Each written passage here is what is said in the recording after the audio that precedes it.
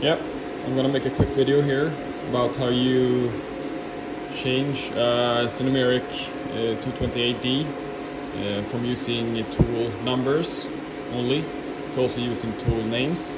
Um, uh, I learned this from a guy on Instagram. Uh, his Instagram name is uh, HNT underscore CNC. A huge uh, thanks to him. Uh, the first thing you do is you go into uh, menu select, then you go into setup. Then you're gonna have to log in. Um, use the password. And um, the password is always sunrise.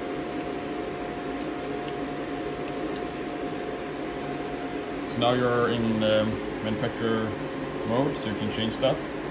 Uh, then you go into machine data, channel MD. Then you're going to go into search.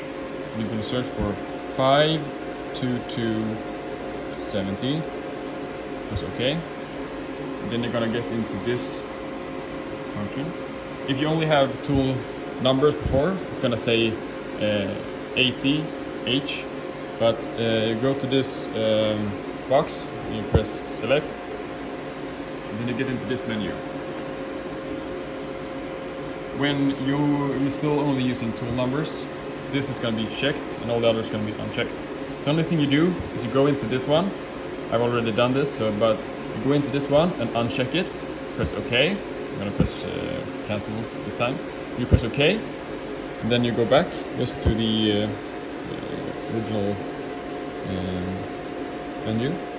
Press your emergency switch and turn the machine off. And then when you power it up again, it's gonna look like this. Now we have tool names. You see that I'm still using um, tool numbers, but it's uh, still working uh, fine to use numbers. It's just gonna read this as a name. Yeah, but use uh, use it carefully when you're getting started. I can't guarantee that all the other macros and stuff works, but um, that's how you change it. Good luck.